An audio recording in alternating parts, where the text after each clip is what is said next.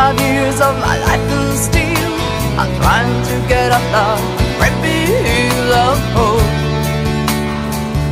for a destination. I realized quickly when I knew I'd shoot that the world was made up of this brotherhood of man. Or oh, whatever that means. Into a cross